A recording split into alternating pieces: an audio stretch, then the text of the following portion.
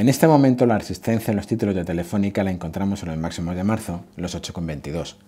Como se puede observar en el gráfico en las últimas dos sesiones, los precios se han colocado ligeramente por encima, pero en ningún caso hemos tenido la confirmación de la superación de esta resistencia.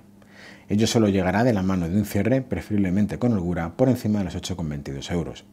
De confirmar la superación de esta resistencia, cabe esperar un rápido movimiento que le lleve como mínimo a la importante resistencia que presentan los máximos anuales, restando así la totalidad del último impulso correctivo en los 8,60 euros. Y por encima tendremos sin lugar a dudas un antes y un después en términos de medio plazo en nuestra operadora. Son varias las semanas que hemos comentado aquello de que toda posible recuperación de los precios en Telefónica, en términos de medio y de largo plazo, pasan por respetar sí o sí el soporte de los 7,45 euros, los mínimos de febrero. Y lo cierto es que desde entonces, con sus lógicas correcciones intermedias, hay que reconocer que el título se está comportando mucho mejor que la media del mercado.